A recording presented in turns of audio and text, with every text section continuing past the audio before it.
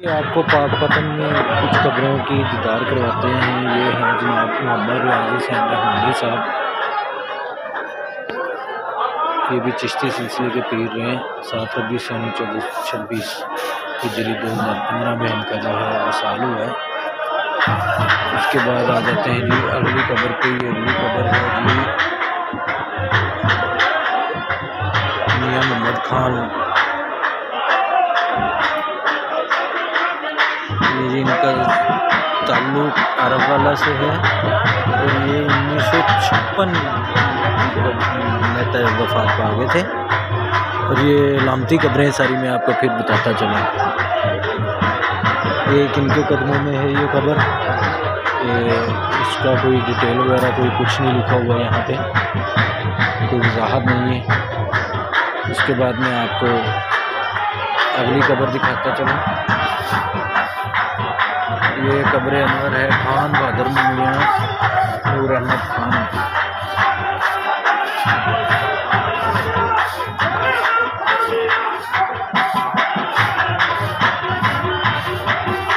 ये भी उन्नीस सौ पचास के करीब की मिसाल ये भी लामती कबर है। ये कबर है, आगे मैं आपको दिखाता चलूँ। ये फर्जी, फर्जंद मियाँ फरीद अहमद खान। नज़र फरीद अहमद खान से।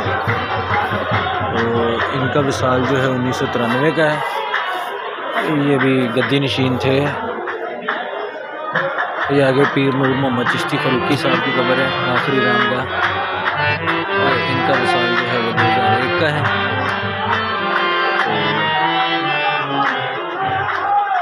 ये न्यूली एडिड है, ताज़ा कबर है।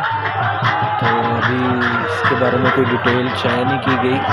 लेकिन ये भी किसी सिलसिले के और ये लामती कबर नहीं है, ये एक्चुअल कबर है जो एक्चुअल थी।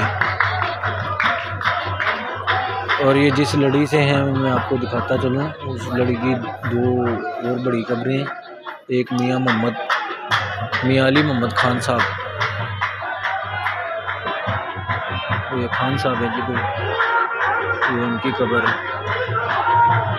वो पहली लड़ी है, ये वाली जो जिस पर चादरें चढ़ी हुई हैं। और ये दूसरी लड़ी है जो ये पिछली लाइन वाली और ये तीसरी लड़ी है जो आगे वाली है।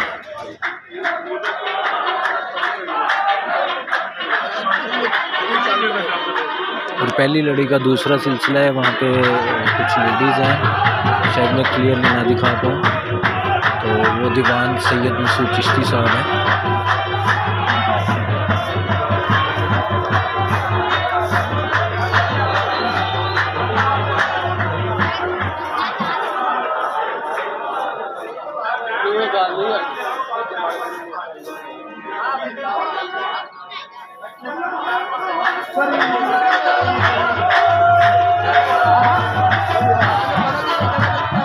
एक काम जो बहुत ही गलत हो रहा है कि औरतों की रसाई नहीं होनी चाहिए कब्रों तक।